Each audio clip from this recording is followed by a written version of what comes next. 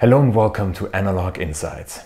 In today's episode, Jules and I will review the Olympus Pen F, which is a beautiful all-mechanical 35mm half-frame SLR camera. It was first introduced in 1963 as the Olympus Pen F and sold under that name for three years and was then replaced by the Olympus Pen FT, which featured a slightly dimmer viewfinder and also a light meter, only then to be replaced again by the FV, which went back to the original viewfinder and left out the light meter again. The version we're testing here is the very first iteration that also comes with the quite remarkable Gothic font at the, the, the F logo at the front that was also used for the digital iteration, the marketing activities around the digital Olympus Pen F that came out much later um, and of course is a digital camera and played with the tradition of the Olympus Pen F, the analog camera that we're talking about today. We've tested the camera extensively. Um, I, I, did quite some photo walks around uh, last December and around Christmas. And then Jules and I went out together on a little photo walk um, with this camera, shooting it both with the traditional Pen F lenses, but also using an OM to Pen F adapter with one of Jules' wide angle lenses, the 24mm f2 OM lens that can also be adapted to that Pen F camera.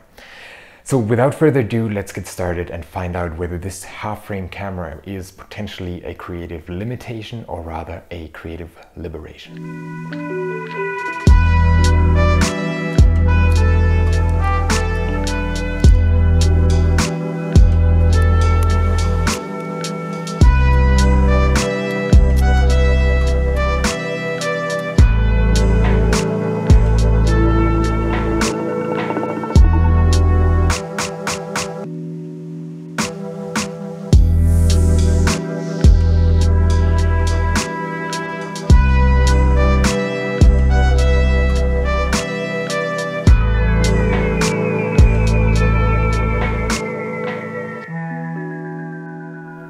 When the Olympus Pen F was first introduced, 35mm film and processing was considered quite expensive.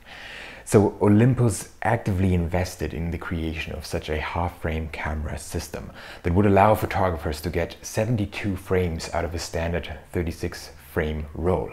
And that of course was the major selling point here.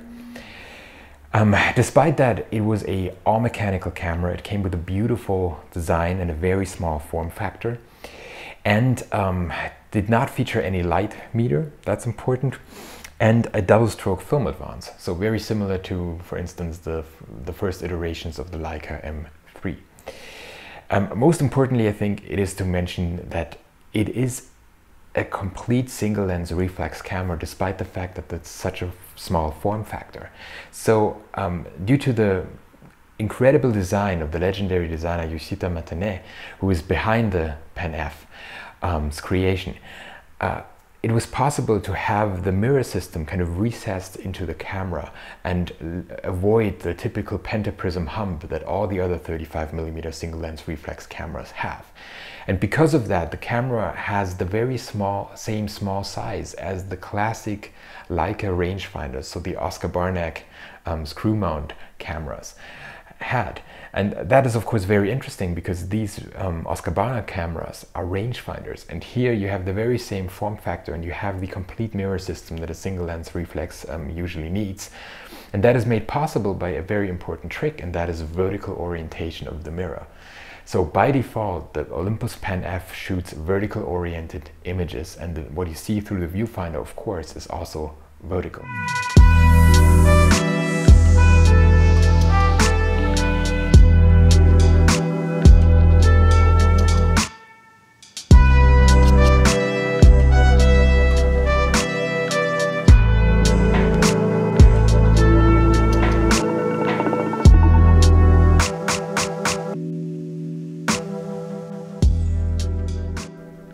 Olympus Pen F comes with an exceptional shutter, which is a rotary focal plane titanium shutter, which consists basically of one piece and opens completely before it closes again. And that is a, quite a contrast to the much more commonly used um, two curtain shutters in single lens reflex cameras. So two curtain focal plane shutters usually work like that, that you have one curtain open and then the other kind of close behind it. And you get um, your film exposed through a little slit that is moving along the film plane. And here you have it completely open before it closes again and that also means that you have full flash synchronization across all shutter speeds. So in, this, in the case of this camera, from 1 500th of a second up to 1 second, so across the entire spectrum, plus of course the usual bulb mode. Um, what is also important to mention is that the shutter speed dial, which feels really great by the way, is located at the front of the camera and it is very easy to use. So you can use it while you have the camera up and at your eyes um, and can still kind of use your index finger to move the shutter speeds around. And what is also important to mention, while the shutter is very loud, and that's a huge contrast to a typical rangefinder camera, despite the fact that it comes in such a compact size, it is virtually vibration free, which is really great. Thank you.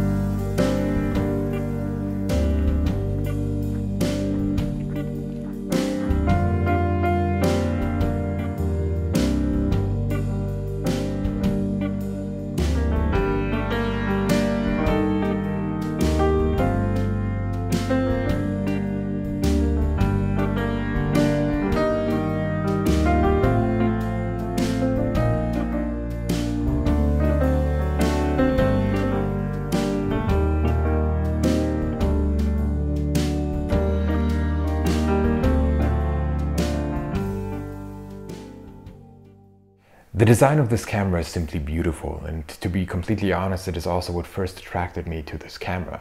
So at a time when I had no idea about whether this was half frame or not and what that even entailed. So I was just attracted to the camera because of its design and um, I got instantly hooked. And uh, interestingly I was on the brink of purchasing it when one of our viewers reached out to us, somebody um, located here in Munich and kindly offered us his camera for a review. And of course, both Jules and I, we jumped at the opportunity and get super excited about it. And I'm incredibly grateful for the uh, lender of this camera who wants to remain anonymous, but we really, really appreciate it. So thanks for for lending this camera to us and letting us do this review. Um, it was a wonderful experience using it and um, with respect to the design and the build quality I can really say it is a wonderful camera despite its small form factor. All the buttons that you have, the shutter speed dial, the shutter button, even the film advance, the two double stroke advance, it just feels wonderful and such a nice and lovely camera. And I really enjoyed using it.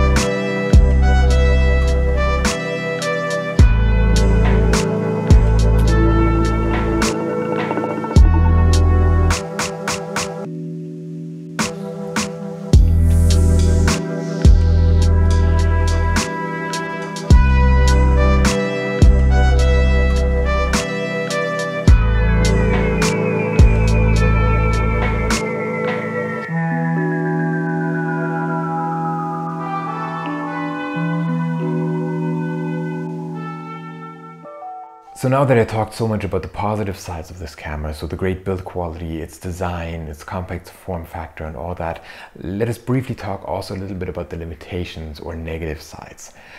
Um, first and foremost, in my opinion, we have to mention the very loud shutter sound because that really is a main difference to a more um, discrete shutter sound of, let's say, a Leica M rangefinder camera that feels similarly discrete and compact as the Olympus Pen F. And once you use that camera and you, you walk around, you have this beautiful vertical oriented um, viewfinder and you take a shot and in that moment you realize, okay, it's not discrete at all. And you almost feel like everyone's looking at you because of that very loud and strong sound. Um, I also want to mention that in my opinion it does not feature a proper shutter button. It's only this kind of this shutter button located at the forefront of the camera, kind of almost falling down. And um, I personally would have appreciated having a more common and more solid shutter button. But that's of course a minor detail. Um, what I personally really liked is the double stroke film advanced, but here I have to mention that sometimes it happened to me that I wanted to take another shot and was not able to take that shot because I had missed to advance the lever all the way when I did the second stroke. So you really have to go all the way in order to cock the shutter completely and properly and only then you can take another shot. And that's a small detail but that um, happened to me as well. Another really small detail that will only affect strange people like me is that if you focus with your left eye, the film advance lever is bound to kind of push into your forehead when you hold the camera up until your up until your eye um, onto your eye. Um, that of course does not happen to people who um, focus with their right eye as Jules does for instance. Um, so he was not bothered with, with it at all. But I instantly noticed it when I used the camera for the very first time last December and I was kind of confused about it but then I realized okay maybe it's uncommon the way I focus. So um, that's a very small but also a little negative that I found.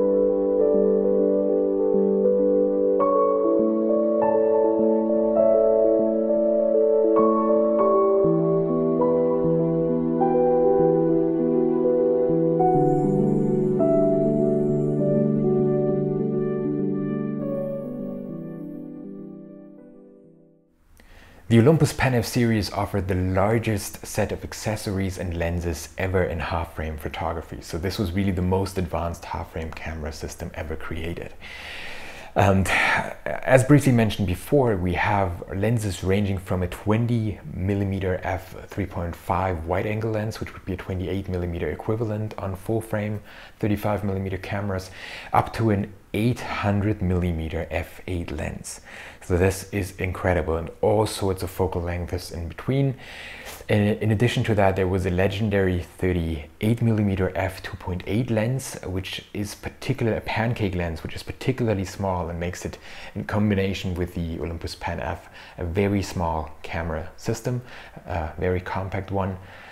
And um, what Jules and I really appreciated is the large set of accessories that are available for it, and most importantly, a number of adapters. So there are a num uh, there are adapters for Nikon, Canon, Pentax screw mounts, Exakta, uh, and most importantly, the Olympus OM system. So what we did for our photo walk, we took one of um, Jules' Olympus OM lenses, the 24mm f2 lens, and simply adapted it to the Olympus Pen F using the adapter, and that worked out really well. What we've noticed here is that the aperture is transferred, um, so once you stop down, you um, can actually see that in the viewfinder, and your viewfinder gets dimmer, which yeah, makes perfect sense, but um, we considered it important to mention that as well.